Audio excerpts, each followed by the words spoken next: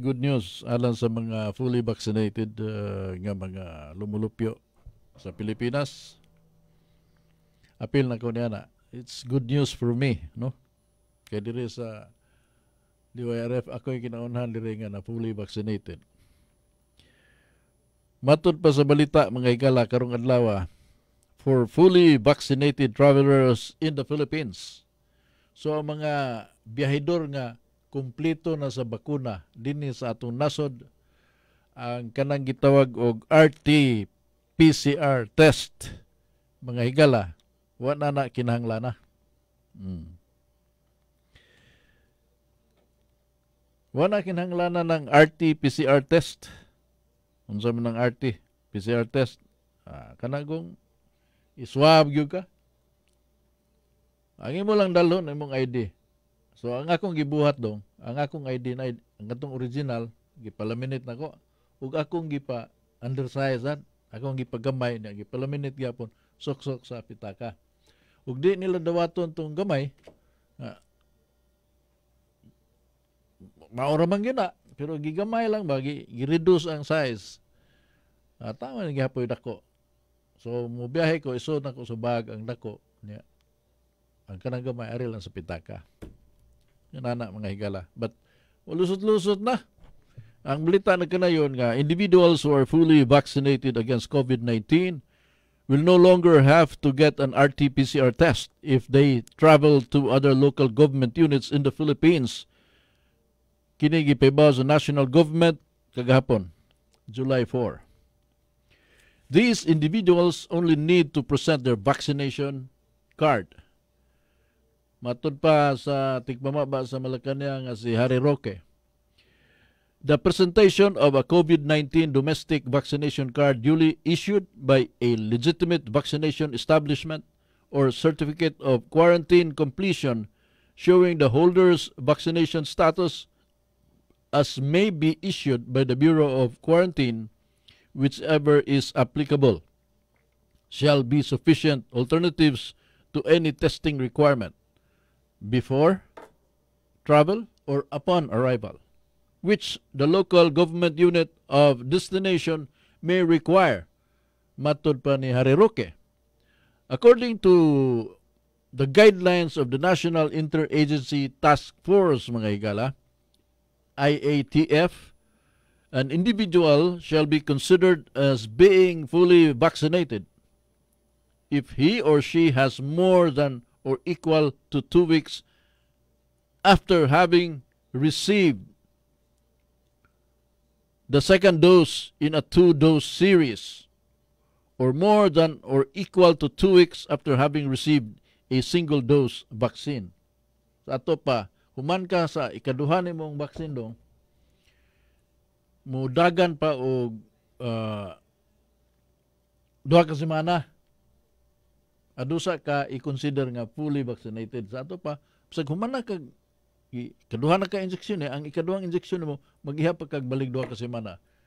Aron ka makalarga nga di na ka nakasamok-samukon no? Fully vaccinated ka na. Kini mo ang mo ni ang gihulagway sa IATF mga higala. Uh, having received the second dose in a two dose series or more than or equal to two weeks after having received a single dose vaccine. Oh. Mahimo sa daig single dose pa, makabiyahe na ka. Diba ha? Oh, sakto pwede di gihapon. Pwede gihapon o single dose pa. Basta kay mo agi una og uh, labaw sa duha ka mga duha ka semana mga higala. Makabiyahe ka without un- undergoing through the the process of kinini ang swab testing etc mga higala. The vaccine administered to the individual has to be in the emergency use authorization list. Na ilistahan na gitawag emergency use authorization EUA or compassionate special permit issued by the Philippine Food and Drug Administration or in the emergency use listing listing of the World Health Organization. So mao na ni ang mga ngan sa vaccine nga ilho nila mga igala. Wa no hingan leader eh, pero mao na ang pasabot. Pero ang mga biyahedor still have to undergo health and exposure screening upon arrival at the local government unit of destination. Unsa pag unsa pag screen sa panalitan mo uli ko sa Panglao unsa may screen sa taga Panglao nako? Kalibo gani yung sa may ilang unsa nila pag screen? Ah kana siguro ko andong kanang temperature lang. Di, temperature. Ana, mo na na, no? ug uh, pa, pirmahon ka sa kanang contact tracing otherwise di na ka kinahanglan mo pakita pag swab result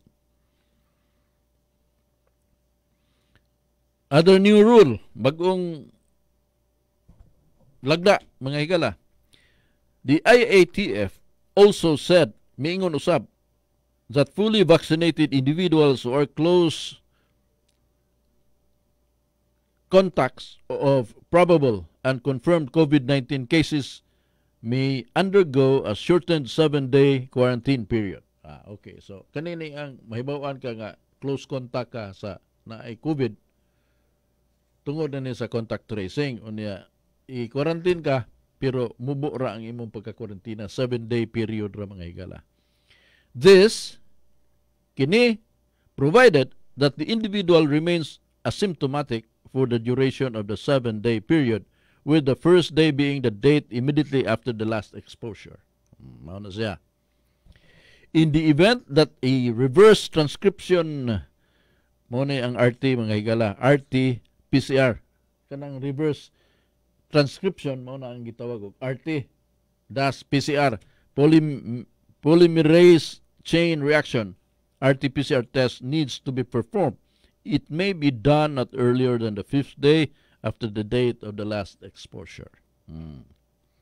However, for close contacts that are fully vaccinated, that may have been traced beyond the seventh day from the last exposure and who have remained asymptomatic, no testing and quarantine shall be required.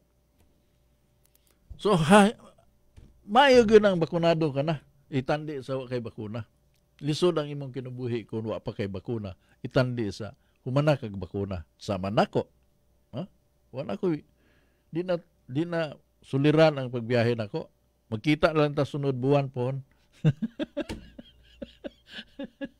Magkabiyahe na. Good news guni. Hmm. Nya dinhi sa Cebu tungod ini mong policies mga igala ang Department of Health uh, gimanduan pag amend aminda tong ilang mga issuance of policies mga igala kay tungod ni ining bagong kwan kanang kamanduan recommended by IATF National o nagipibaw sa Malacanang kagapon. Rocky told the Freeman on Sunday that his announcement was good as effective. O, pag sulti gidong, epektibo na to. Mao na to, epekto na dayon ang kamanduan. Niya ang Cebu, mga opisyalis sa Cebu will need to discuss the matter in a meeting on Tuesday. Uh, Martes pa sila mag-meeting. Matod pa, let us wait for a meeting, a meeting scheduled Tuesday with the stakeholders and then we'll inform formally inform on the above guidelines for vaccinated travelers, matod pa ni Dr. Mary Jean Loretze, spokesperson of the Visayas COVID Vaccination Operations Center and chief pathologist of DOH-7. Hmm. So mag-meeting pa ang Cebu. Murag wa sila salig atong ingon ni Rookie nga effective immediately. Mag-meeting pa sila. But anyway, naman sa kamanduan gud nga. Ug unsa nang inyong mga gipang issue diha nga mga directives i-amendar na. So kinahanglan pa nga mag-meeting sila to amend those uh, whatever they have issued to the public mga higala. May tungod ining fully vaccinated nga mga uh, citizens mga mga lumulupyo. O mubiyahe ni sila unsa may patakaran. Ang patakaran itong klarohon dalhala ng inyong ID ug din mo babagan. Din mo babagan sa kanang authority. Nga pangitaan pa mo PCR test. Wala na. Makasakay ka nagbarko pakita lang na. Unya kung sa contact tracing mahibawan ka nga nakaduol ka og COVID positive mahibawan man sa contact tracing ang imong karantinas pito ra sa kadlaw oh, arang-arang gihapon no kaysa mabot kag siyam-siyam dito karantinas ka pito ra kadlaw Unya sud sa pito ka adlaw dong og kuan ka nang wa kay wa kay wa way mo pakita nga kausaban sa imong panglawas ba. Asymptomatic gyapon ka. Ah, kana kagawas ka na. So kamo nga wa pa magpabakuna. Dagang hinungdan nga nung dag, wa way kanang wa magpabakuna dong.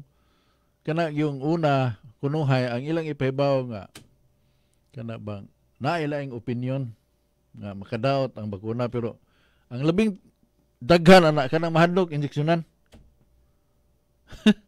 Tinuod na mahadlok injeksyonan pero di sila mo angkon nga mahadlok mauwaw man. Nga mahadlok sila ng dagom. Mauwaw na sila nga way sakit oy. Way sakit ng injeksyonan ka. Kamo nga naminaw karon talawan kag dagom. Wa gid na sakit. Unya kana mga talawan nga naminaw karon nga. Mahadlok og dagom pero makigbuno sa China tungod na ng West Philippines Sea. Unsaon to man nandoon pag pagbahig?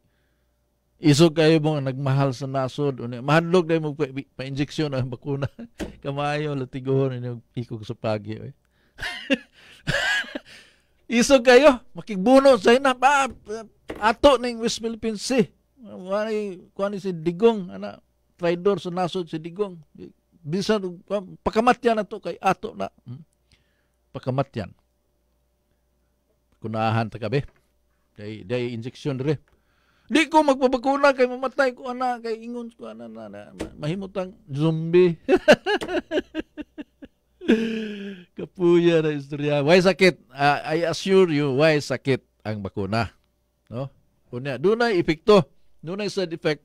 Manglaylay mong bukton, tural na, mubugat imong bukton, unya sa ikaduhang sa ako lang ni kaugalingong experience sa ikaduhang bakuna mura ko tanon tulog adlaw kong kilantanon katugo ko magprograma ko sa FM mukalit ko pindok dito ng higala tuktuko na lang ko sa kanang bildo kay napawag na lang istasyon kay natug ang ang disjaki natug pero other than that why problema? Naman ko eh binta na mga tao. Mao lagi nga demokrasya gyud. The best is democracy. Di man gyud ta magkaparehag una-una. Di gyud magkaparehag magsukwahay gyud even in the scientific community ha?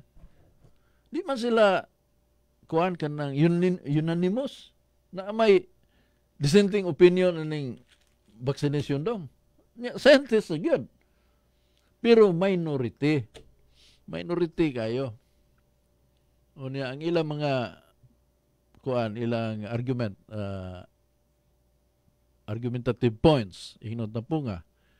Wa kalaho tayo sa debate pero mo insister gyud sila nga kuan kanang sakto sila. Ang majority mo sayo but be that as it may uh, we live in an imperfect world. We are subject to hits and misses. Maigo matunong sipyat. Kinigong example. Kinsa may magtuo nga mahugaw ng dagat? Ah, sa bata pa ko nagtuo ko nga kanang dagat mulimpyo ra na sa iyang kugulingon kay kato among baka mga baka sa una dong dalon to dagat liguon dong unya mag magunaw na nga nga. Mahugaw ginang dagat kay ang baka hugaw gud mo bitong liguon. Pero limpyo man gyapon ang dagat. Tungod sa kadako magunaw na limpyo gani di ni mahugaw. Pero matay mahugaw man gyud ang dagat. Tanawa. Tanawa ng basura sa kanang ocean mga higala nga makita nimo sa kawan kanang mga video. Hugaw ang dagat. Nga kanang tanaw ka ng pasil oh. Nang ari ka moagi sa SRP tanawan ng dagat sa pasil Nya, naara ba maglangoy-langoy gapon bida pa ita. So, what I'm saying, uh, what I mean is that kitang ang tao ba, ang tao we're in constant dis uh, we're in constant uh, mode mode of discovering things. Wa ta mohunong og diskubre. Og siging improve ang atong kinabuhi tungod ni mga bag-ong nadiskubrian. Og mohunong kag diskubre. Awa na kay hinungdan. Hinungdanan na. Pero sa una god, sa tong kana na ang four elements, tubig, kayo, yuta, Unsa pa dong? Four elements ba? Unya og mo deviate ka na. Irihis ka. Bitayon ka na. Irihis ka. Ay mo ay kuan sa Ginoo. Elements sa Ginoo. Hangin. Oh. Pero ug kasalig ta ug dito ra ta kutob sa atong pagtuo ignorante kay taron kinsa may magtuo nga naa day sa tunang formula ni Albert Einstein. Dagang kayong kausaban ang kinabuhi tungod sa the man keeps on discovering things. Di mo hunong sa iyang na iyang accumulated uh, knowledge. It keeps on man keeps on pushing no? Pushing. Seeking handles good. And the the later generations, the future generations benefit from that attitude. Dagang kayong hatag na tong example niya na kanang cellphone. Space technology man na. Di man ta makaangkon anang cellphone o wa pa magpalupad og Sputnik ang Russia o wa pa magpalupad og Apollo Apollo rockets ang US. Dito ang mga discovery kana na ang fiber optics kanang unsa ang pag-insulate ang mga wires nga. Silicone ay gamiton dili rubber nga.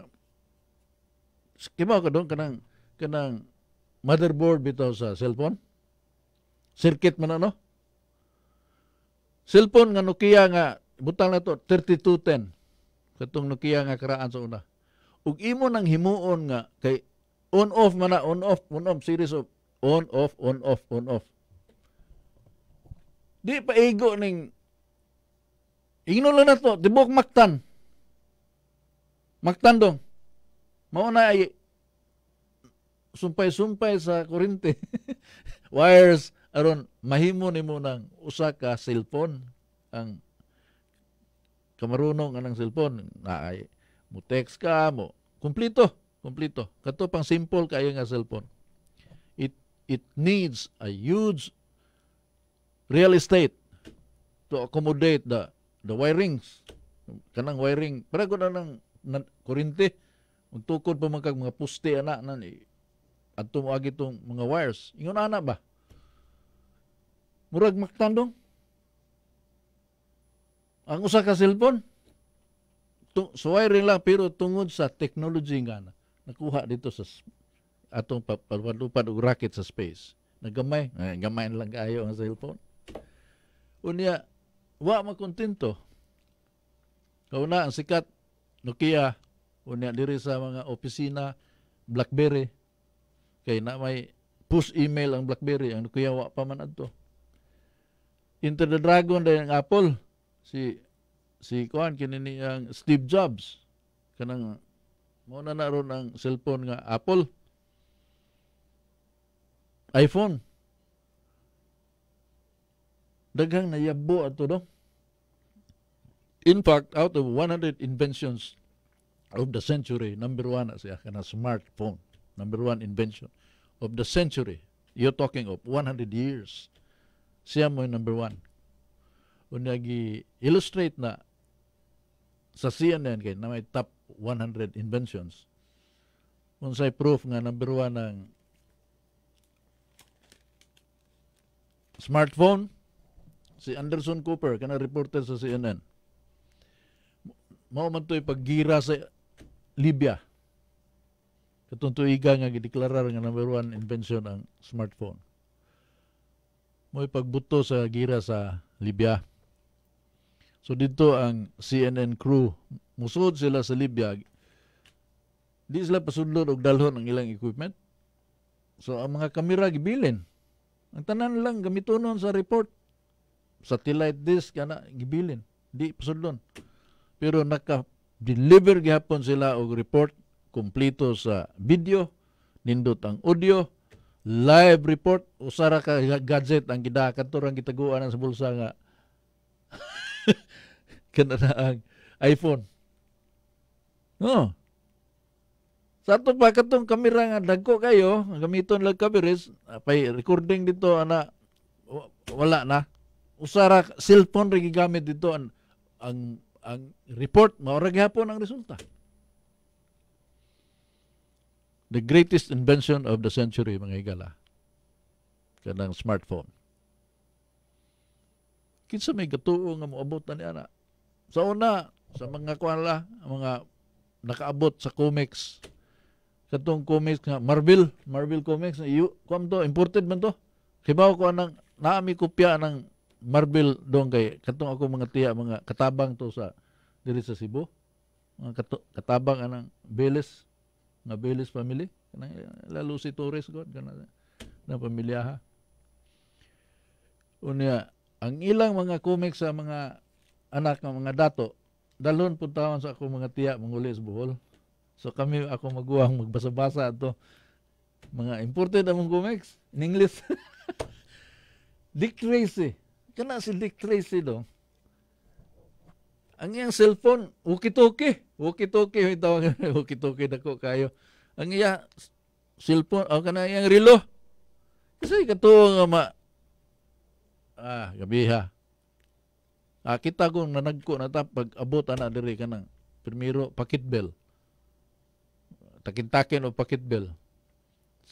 Sikat na kang na kayo pakit bell, social na kayo, mahal man to. Unya, inigtanaw ni mo nga na message, mangita na kag landline kay mong dayalon. na service kuha na to da kanang messenger messenger ato siya nga naa kay tawag ang tod nga mo ng cellphone Uh, gikan sa analog na digital o karon smartphone na. Bisag asa ka paingon na smartphone ng mga tao. It can do anything. Uh, you know, uh, audio, video, why problema? So mao na nga na ang mainstream media dili na kapamakak. Dagag consequences ba no? Di na kapamakak. Una na ay social sa titawagan na kanang mga networking network sites mga higala like Facebook, Instagram, Twitter nga maka-appeal tanan, maka-appeal ang, ang mga tao. Una og nay issue nga hisgutan diha maka-komentaryo. na na pa audio, video kapada pa ka kinsa may magtuo abot na nato sa atong kinabuhi. Gawa sa na mga batanon kay di sila ka-imagine nga wa na dong. Di sila ka-imagine nga mm, buhi ka tagwa na diha wa na pero kita mga idarana lipay ta nga nakaabot na ini. Eh, kasi magtuo. So una mag nagagay ka ng nganlan to gi-Indian ko nimo. Term nga gi-Indian ko nimo. Tungo ba na tuwag ko kita tawag mo ha Unsang orasa between 3 and 4 ah, sa ka oras gyud ang kuano eh kanang allowance. Asa man sa Gesano ah, Gesano Metro sa coffee shop between 3 and 4. Abot ka dito, hangadangan ka, wa man moabot ang kanahan. Pagka kuana manawag ni uli na kahapon. Uli na ka sa inyo, bagting tayo. Hello, Matay ba suri kayo? Wag ko ana na piki ko dagan ana na mo excuse na ba. Pero karon text tawag. Bisag maglakaw, yaw-yaw. Istorya kato katawa ana. So una dong biyahe kag Manila dong makauyab ka dong. Diyante pa me. Ug kugihan kag yun, gikan sa Cebu padong sa Manila, moabot nag 24 oras ang biyahe sa kag barko. Ug kugihan ka dong makauyab suka.